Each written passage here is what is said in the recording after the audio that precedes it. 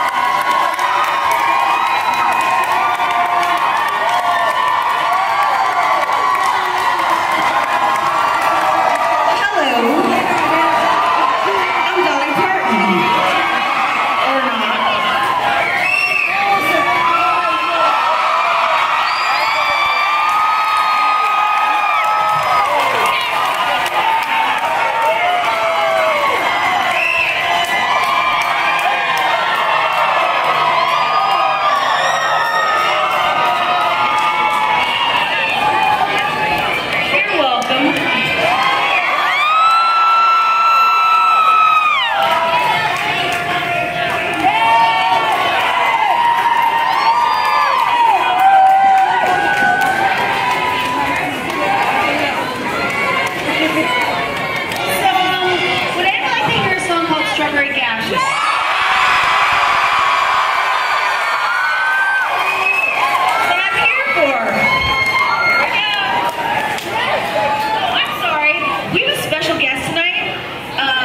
He is part of our family.